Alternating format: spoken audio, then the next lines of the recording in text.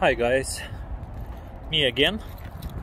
So like I said, this is the second day of 30 days sit-up challenge. Um, I just finished the gym. Whew. Busy and hard.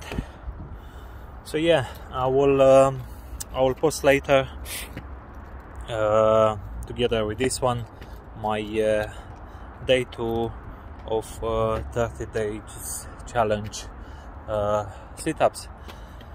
I hope you guys you are keeping well and um, I hope I give you some motivation to to start to do as well something. If you don't want to do this 30 days challenge you can do something else for 30 days. But uh, keep doing. And uh, I will see you tomorrow. Thank you. Bye bye